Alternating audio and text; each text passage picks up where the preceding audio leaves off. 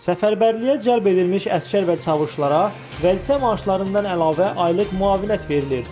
Bu barədə Müdafiə Nazirliyinin mətbuat xidməti məlumat yayıb.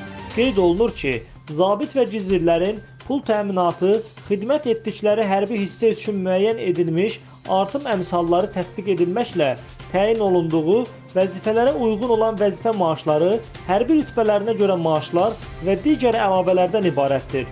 Buna görə də əskər və çavuşlara eyni qaydada təyin olunmuş vəzifə maaşlarına əlavə olaraq 360 manat məbləğində aylıq müavinət verilir. Nazirlikdən o da bildirilir ki, Azərbaycan Respublikası prezidentinin səfərbərlik üzrə hərbi xidmətdən təxlis etmə haqqında sərəncamının orduda icrası ilə əlaqədar Müdafiə naziri müvafiq əmr imzalayıb.